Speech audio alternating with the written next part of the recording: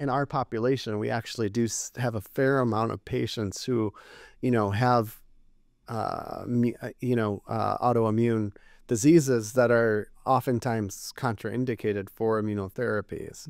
Mm. Um, I think, you know, it's always a shared decision making sort of process. Um, I give them sort of the information and I give them my concerns. If I have concerns about, you know, whether or not a patient's going to tolerate treatment, um, I make those concerns noted.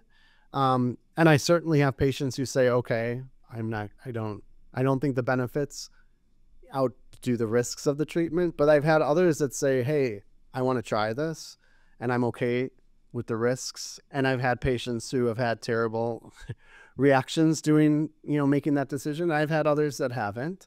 Um, I think at the end of the day, you know, that's where we make a shared decision making. I'm, you know, and if I'm truly uncomfortable giving immunotherapy, I won't give it.